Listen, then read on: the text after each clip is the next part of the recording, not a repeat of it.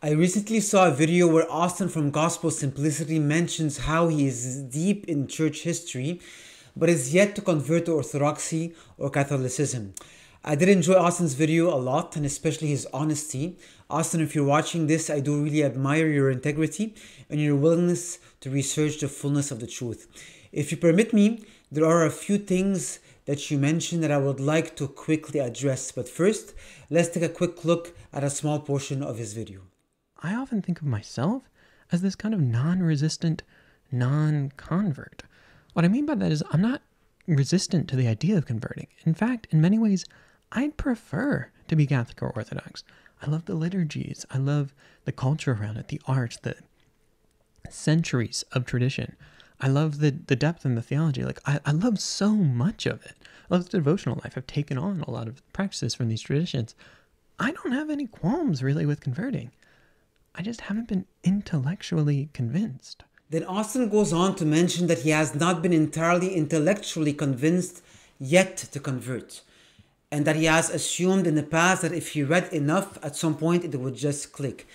He seems convinced by the majority of his research, but there are a few things that are keeping him from converting just yet. Austin, although I generally approve of your thought process, I do not think that you have to understand everything to convert.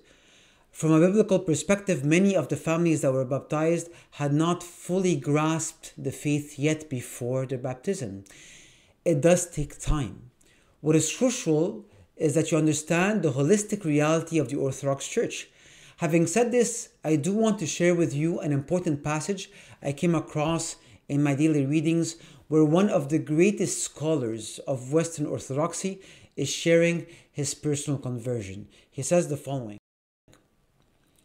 I am grateful that my initial contact with Orthodoxy was not through reading books nor meeting members of the Orthodox Church through social context, but through attending an act of worship. The Church is primarily a liturgical community. Worship comes first, doctrine and discipline second. That same idea you already allude to in your video when you say that you enjoy the liturgy, and that is in itself a good indication of where you are. Remember that faith in Christ is both logical and above logic. It is a paradox. So, question Will you be able to prove everything in Orthodoxy? No. But can you prove everything in Christianity, generally speaking? No. But because there's a clear weight of evidence for Christianity, we therefore believe especially that everything else falls way short in comparison. However, when Christianity is practiced, the evidence is transformed into proof. The truth becomes as clear as day. It is the same with Orthodoxy. Living an Orthodox life will be your personal proof. I don't believe you are very far, but it is up to God to give you the final push you need. In the meantime, I will be praying for you.